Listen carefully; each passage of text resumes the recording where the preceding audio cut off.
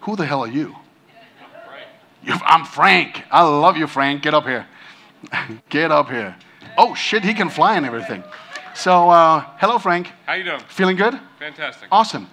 And uh, look at this fucking bicep. All right? Scott Sandland all over the place. That's fucking awesome.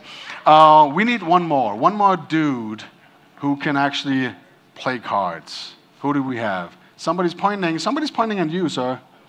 Yeah. Hey, get up here. And I'm going to give you an instruction in just a moment. So if both of you stand over there, that would be nice. So we're going to do an experiment in just a little bit. And people go, go shuffle the cards. Has nothing to do with that because I don't do card tricks or anything like that. We have a full deck of cards. Please open up and just check it. There's no jokers in it. It's only regular cards, correct? Good. Both of you? Good? Yep, just check it. Check this envelope. Check this envelope. Just make sure I can see through it. Okay?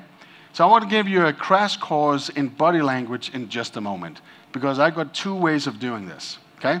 So what I want you guys to do in just a moment and listen thoroughly to my instruction. I want you to take a look at the deck, go through it, and when you finally feel like, oh, that's the card I want, pick that one card, put it inside of the envelope, and just hold it between two fingers. That's it. It goes for both of you. You were looking at the faces or the backs? Uh, look at well, look at the actual card, so you know what card you're choosing. Okay. Yeah, you have to, right? Because you need to pick it. Otherwise, it's just the same card all the way through. I want you to look at it because one of these cards probably speaks to you in a way where you go, "I want that card." Make sense? Yes. So you have to choose a card. Same thing goes for you. Your name again was Frank. Frank and Joshua. Joshua. Oh, okay. If you start, Frank, I'm going to turn my back to you. Be as fast as you can. Give the deck to, to uh, Joshua afterwards. Joshua, when you're done, just place the deck right there. Would that be okay? Oh, just put it over there. That's awesome. All right. Frank is doing his mojo right now, his magic. He's looking, he's really thorough, he's doing his best. He's trying to figure out what I'm thinking of, and he wants to choose a different one. And he's like, oh, the first choice, maybe he know about that. Let's choose the second one, or the third one, or the fourth one. Uh, Frank, are you done? Yeah. Awesome. Pass on the deck to Joshua. Way ahead of you. All right, awesome. Joshua, when you're done, place the rest of the deck on the table behind you. Put the uh, card inside the envelope and just hold it between two fingers. And I'm going to give you the crash course I just promised you guys. How are you guys feeling? Yeah? This is the awkward moment. I can't see anything, so I'm just trying to you know, keep swimming. are you both done? Yes. yes. All right, please tell me then. Otherwise, I'll just keep talking about random shit. All right, so you, you chose a card, correct? I believe so. Yeah, and so did you. So pay attention to body language already. What do both people do on stage? They got a totally blacked out envelope. They chose a card, but despite of that, they're trying to hide the envelope behind their back, as if I can see through them. Isn't that interesting? Yeah. And see the dynamic right now, right?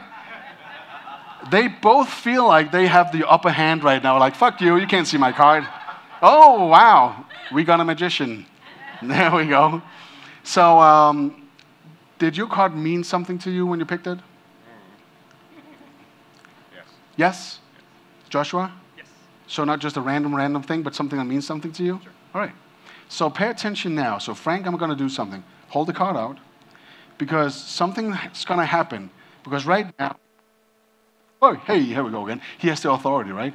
He has the power because he's holding his card until the moment I do this. Now it sucks. It does. I want that. You can't. So, what I want you to do is think about your card as much as you can. Okay? I'm going to say a couple of things loud.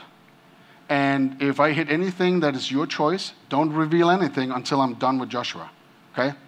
But from the very beginning, I wanted uh, Frank to pick a black card.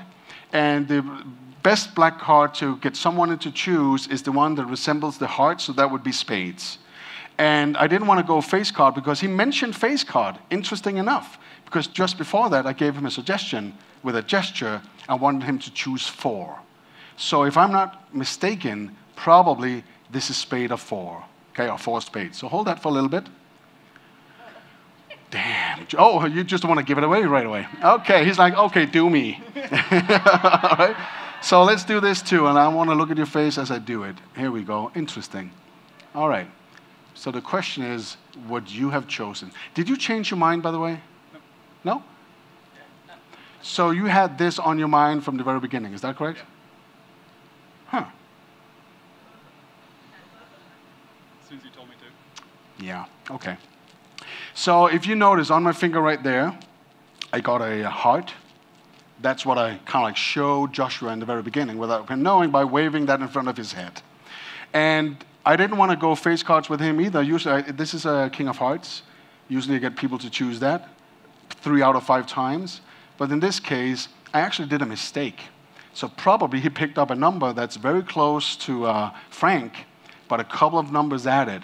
So if I'm not wrong, just look at me right now. Five, six, seven. All right.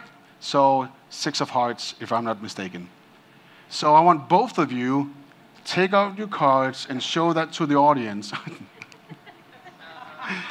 six, of, six of hearts right there. Awesome. Four spades. There we go. Awesome. Thank you so much. Thank you. Thank you so much. Awesome. There we go.